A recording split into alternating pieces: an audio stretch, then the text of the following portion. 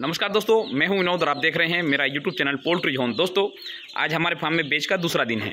दूसरे दिन में हमने क्या विशेष किया है, जिससे कि हमारे फार्म में बेच की जो हम जिस प्रकार से ग्रोथ चाहते हैं, वो ग्रोथ हमें मिले कम खर्चे में। दोस्तों, हम बात करेंगे इन सब चीज़ों में मान के चलिए कि साइलेंट एक वर्ड छुपा हुआ है, वो है कम खर्चे में हम कैसे ब्रायलर फ़ार्मिंग कर सकते हैं, चाहे हम ओपन फ़ार्मिंग कर रहे हो, चाहे इसी फ़ार्मिंग कर रहे हो। दोस्तों, पहले हम ये देखें कि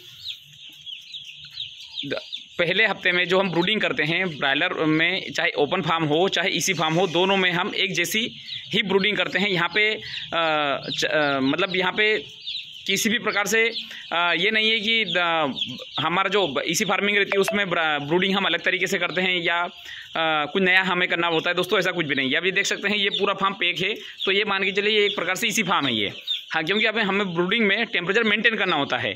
तो अब हम किस प्रकार से मेंटेन करते हैं वो मेथड दोनों में हम सेम मेथड हम उपयोग करते हैं ब्रूडिंग की ओपन फार्म और इसी फार्म में। तो दोस्तों, ये तो हो गया हमारा कि हमें जो है इसी फार्म के लिए विशेष कुछ आवश्यक अलग से कुछ करने की आवश्यकता नहीं होती। अब दोस्तों, आज हमने क्या किया है फार्म के अंदर दूसरे दिन में, पहले तो मैंने जो आपको मैं बताऊँ कि जो दाने की जो बोरियाँ थी जिस पे मैंने पहले दो जिस दिन बर्ड आए थे, रात के नौ बजे, परसों रात के नौ बजे आए थे, और कल दिन भर जो है मैंने ये इस, जो दाने की जो बोरियाँ थी, उसके ऊपर ही दाना डाला। और दोस्तों, आज जो है मैंने सारी दाने की बोरियाँ निकाल दी, और जो दाना जो बचा हुआ था बोरियों के ऊपर, वो मैंने सारे, हर एक पार्टीशन में देख सकते हैं ये, सब पे एक एक पे इकट्ठा कर दिया है। ये देखिए, इससे क्या हुआ कि मेरा जो दाना, जो ख़राब होने वाला दाना जो था, वो मैंने एक पे रख दिया, वो चूँकि थोड़ा बहुत भी अगर खा पी के उसको अब ये तो लगभग ख़राब हो ही गया, फिर भी कुछ परसेंटेज में बचा हुआ है। तो अब उसके बाद में ये देख सकते हैं, ये जो है, थोड़ा बहुत जो बचेगा वो ठीक है, और थोड़ा बहुत खाएँगे तो ठीक, खाएँगे नहीं तो वो ख़राब हो तो वैसे भी वो ख़राब हो, वैसे फेंकने में ही जा रहा था। तो दोस्तों, मैंने क्या किया, सब जो बोरियों का दाना, हर एक पार्टीशन का जो बोरियाँ जो करीब छः बोरी एक पार्टीशन में लगी हुई थी, मैंने एक बोरी पे करवा दिया, और फार्म के जो पार्टीशन के अंदर फीडर मैंने बढ़ा दिया, ये देखिए। और चिक ड्रिंकर जो है, आप आपको दिख रहा है पहले जो है, हर एक पार्टीशन में करीब चार चार, पाँच पाँच चिक ड्रिंकर मैंने लगा रखे हैं, क्योंकि चिक ड्रिंकर अभी जो है, अगर अगर पर बर्ड के हिसाब से अगर हम देखें तो यहाँ पे हमें दस ड्रिंकर और दस फीडर हमें एक पार्टीशन में होना चाहिए था। किंतु दोस्तों, अब दस ड्रिंकर और दस फीडर अगर हम लगा देंगे तो फिर बर्ड के लिए जगह भी होना चाहिए। दूसरा, मैंने जो है पार्टीशन हर एक पार्टीशन में निप्पल सिस्टम का अरेंजमेंट इस प्रकार से आप ये देखिए, ये अरेंजमेंट देखिए। इस प्रकार से अरेंजमेंट कर रखा है कि अब एक एक में करीब करीब दस दस निपल तो वैसे ही आ गई और चार चार हमने ड्रिंकर लगा दी। मतलब कि पानी की कमी से बर्ड को जो होने वाली मोटलिटी इसमें किसी भी प्रकार से इसमें चांसेस नहीं है कि बर्ड की मोटलिटी मतलब पानी की कमी से हो जाए। तो दोस्तों, मैंने पानी का अरेंजमेंट इस प्रकार से किया है और दाने के बर्तन लगभग हर एक में जो है, करीब सात सात आठ आठ बर्तन मैंने लगा दिए हैं। देखिए। करीब आठ आठ बर्तन हर एक पार्टीशन में लगा रखे हैं। तो दोस्तों, ये इस प्रकार से मैंने दूसरे दिन अरेंजमेंट जमाया है कि हम इससे कि बर्ड में जो है दाने की, अब देखिए, अब दोस्तों, ये तो हम हमें समझ में आ गया कि हमने ये सब हमने हमारे हिसाब से लगाया है किंतु मुर्गी जो बर्ड है, उनको फ़ायदा भी हो रहा है या नहीं अब उसका हम कैसे पता लगाएँ? तो दोस्तों को पता लगाने का साधारण तरीका ये है कि ये ये देखिए ये इस कि, किसी भी बर्ड को हम पकड़ के देख सकते हैं हर एक पार्टीशन में।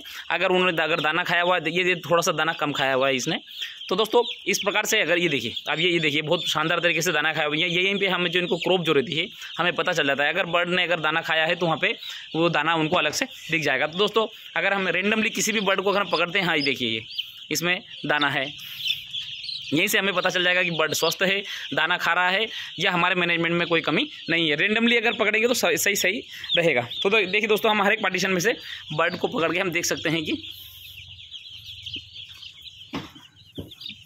ये देखिए तो मतलब हर एक बर्ड में दाना है इसका मतलब ये हुआ कि हमारे दाने के बर्तन जो हमने जिस प्रकार से हमने बिछा रखे हैं लगा रखे हैं चाहे पेपर फीडिंग हुआ चाहे हम टर्बो फीडर किसी प्रकार से वो बढ़िया तरीके से है। तो ये तो सब चीज़ें हो गई दोस्तों। अब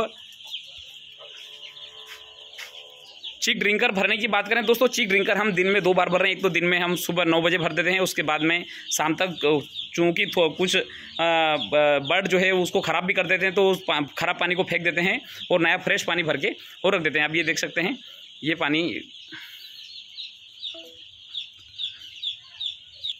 तो दोस्तों, हमने चीक ड्रिंकर में सुबह भी पानी भर दिया था और अभी शाम को भी हम पानी भर रहे हैं।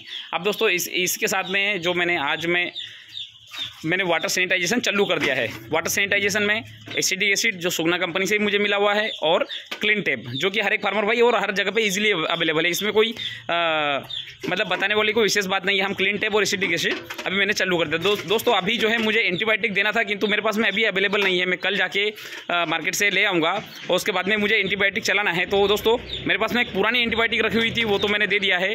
किंतु दोस्तों वो एक ही टाइम की का डोज मेरे पास में रखा हुआ था। तो दोस्तों दूसरे तीसरे दिन और चौथे दिन हमें जो है एंटीबायोटिक का भी डोज देना होता है। जो मैंने एक डोज तो मैंने दे दिया है किंतु कल के लिए मेरे पास में खत्म हो गया तो मैं कल लेके आ जाऊँगा। और उस, उसका जो है मैं आपको अलग से वीडियो बना के बता दूँगा कि मैंने ये वाली एंटीबायोटिक मेडिसिन दी थी और क्यों दी थी उसके बारे में भी मैं वीडियो बता दूँगा। तो दोस्तों ये तो हो गया हमारा कि दूसरे दिन हम किस प्रकार से मैनेजमेंट कर रहे हैं फार्म के अंदर का कि हमारे बर्ड में कि जो है अच्छे से अच्छा वज़न ले कम से कम मोटलिटी हो और हमारा परफॉर्मेंस जो है, वो बहुत अच्छा देखने को हमें मिले। इसी के साथ मैं वीडियो समाप्त करना चाहूँगा। धन्यवाद।